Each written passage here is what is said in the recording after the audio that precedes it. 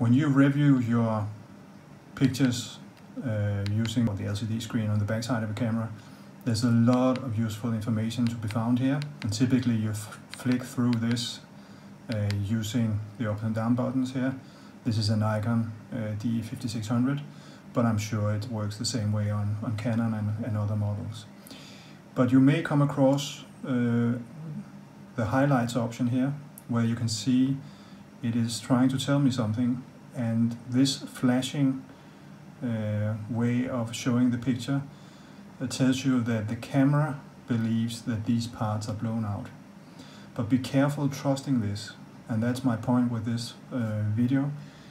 Be careful trusting this, because this is if the camera was in JPEG mode, meaning that it would store the information processed uh, the JPEG way, if I can put it like that. But it may be that the information, if you provided you're shooting in RAW, let me just show you here, you can see bottom right here, I'm shooting in RAW. It may not be that this is the truth.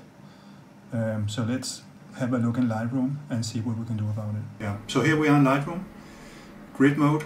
Uh, I will just double click this picture. This is the 70 4792, the one that I showed you previously uh, on the little LCD screen. And here it is. And if I go into develop mode, press D, there it is. Now, if you look at the top right, as I move the cursor into this bright area, just right of the of the of the pole there, you will see that it's telling me that red is at 99.9, green is the same, and blue is 99.8%. And this is you know, very close to the limit. So it's basically telling me on a scale from a 1 to 100%, I'm giving you almost all I got. And that's probably also why the JPEG version of the picture on the camera was flashing because it's telling you that in the way it's, it's, it's showing you the picture, it has run out of options, it has done clipping. Um, so so um, that's why it was flashing on, on your LCD screen. But there's much more, when you're shooting in RAW, there's much more information behind what you see here. And what it's basically telling you is the mapping from the data behind uh, this picture you're seeing and to the screen. Um, it is in that mapping it has run out of options. So if you filter or scale it a little bit differently so that the numbers will be represented differently, then you may be able to fix this problem. Let, let's see.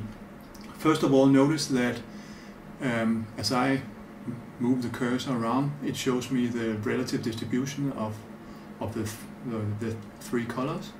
But also here, if I hover if I hover the mouse over the top left triangle here in the histogram, you will see that in blue it starts to show where it is uh, clipping sort of in the bottom of the picture, meaning all the dark sections. And if I do the same to the top right, it shows me that it has highlight clipping, it has run out of options for showing me the bright parts of the picture. If I push these buttons, let me do that, you can see then it, it stays. I don't have to hover uh, over these. So this is super useful because then you can see if some of the things you will do to fix the picture uh, actually helps. But let's try out with uh, highlight.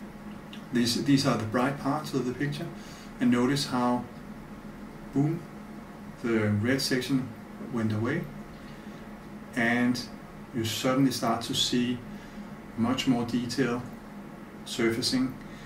Um, it looks like morning light, which it actually was, rather than just a very bright surface. Let me also see, and you, as you notice as I do this, the histogram moves to the left and uh, I can tell you this looks much more than what I saw when I took the picture than, than uh, was shown previously. Also, let's try and lift the shadows and now you see the blue parts on the picture, they start to disappear. And notice what happens as I do 100% uh, shadows lift. you will see rather than this being just black, it becomes green and shows you the trees and all the flowers and so on that I actually also saw this morning.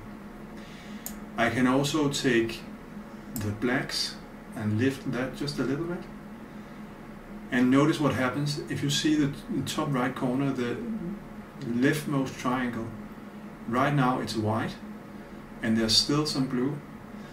But if I go a little bit to the right you will see that the white triangle becomes gray.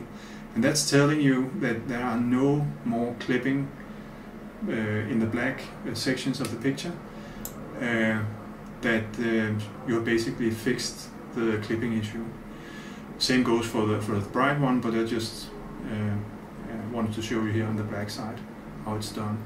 So the question is of course now you have fixed the issue. Um, and what was it I saw this morning? Well if I am to compare these two let me just do like this. Press Y here. You can see the left hand side that is the picture that I uh, that I started out with. The right hand side is um, the sort of the edited picture. But you can see in the right hand side now there are no there's no clipping going on and I will say the right hand side because I took this picture at 4 o'clock in the morning it is much closer to what I actually saw. So the the problem has been uh, you can say the representation of the picture and not the raw information as such. So be careful that's my point with this video be careful to trust uh, the clipping uh, or highlights illustration uh, on your LCD screen, it is based on the JPEG, it is not based on the raw information. And second point, this is a little bit a hidden uh, uh, advertising for for shooting in RAW. I know it takes up a lot of more information, takes more more disk space, and la di da. It's more cumbersome maybe to work with, but man, you get so many more options for recovering your picture and and the information in the picture to get something useful than you do on a JPEG. Had this been a JPEG, I had never been able to recover this information that you just seen. Hope you found this useful. Thank you for watching. Take care.